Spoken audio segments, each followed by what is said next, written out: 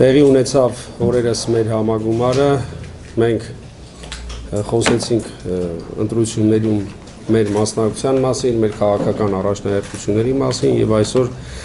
նաեւ ես ուզում եմ ներկայացնել այն ձևաչափը, որով մենք մասնակցելու ենք ընտրություններին, հայկական վերածնունդ կուսակցությունը ընտրություններին մասնակցելու է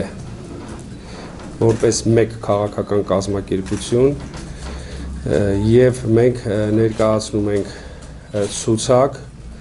այս համապետական ընտրություններին մասնակցելու համար կազմված 300 հոգուց 300 հոգանոց ցուցակը դա այն թույլատրելի շեմն է, որը նախատեսված է ընտրական օրենսդրությամբ եւ մենք առաջադրելու ենք 164 ռեյտինգային տեխնացուներ եւ 136 տեխնացուներ համամասնական ընտրակարգով։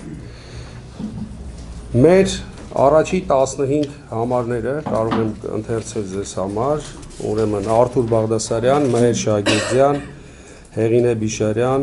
Հովանես Մարկարյան, Իշխան Խաչատրյան, Էդգար Արաքելյան,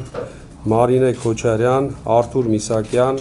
Խանիկ Պետրոսյան, Արմեն Հարությունյան, Լիաննա Մանուկյան, Գարսևան Սաղաթելյան, Լևոն Դոխոլյան, Հունան Պետրոսյան, Գառնիկ Ղազարյան։ Մենք եթե դուք տեսնում եք ցուցակում կան ինչպես գործող հանրությանը ծանոթ քաղաքական գործիչներ, այնպես էլ նոր երիտասարդ մարդիկ, ովքեր կներկայացնեն մեր քաղաքական թիմը ապագա խորհրդանում